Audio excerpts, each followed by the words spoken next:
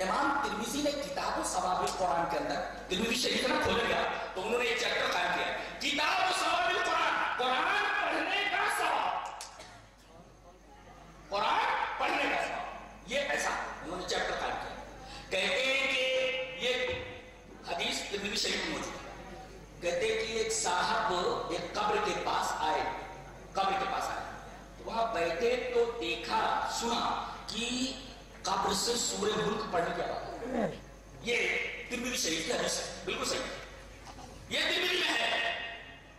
तिरमिदी में ये रिवायत मौजूद है हमारे पे। हमने पढ़ा उसे। बिल्कुल ठीक है। कि तिरमिदी में ये मौजूद है और चैप्टर है किताब कुरान। एक आदमी कब्र के पास बैठता, सुनता है कि कब्र से सूर्य मुल्क पढ़ने की आवाज़ आ रही है। तबारक अल्लज़ी बियदिहिल मुल्क व हुवा अला कुल्ली शैइन कदीर। अल्लज़ी मौत वल हयात कहाँ से आवाज़ आ रही है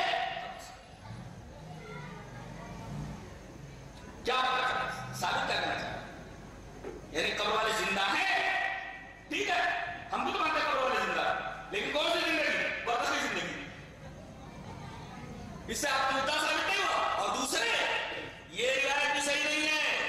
इस हदीस में एक रावी है, यहया इब्ने अमर, इब्ने मालिक अल मुकरी उनके बारे में इब्ने हजर ने लिखा है कि हम्मान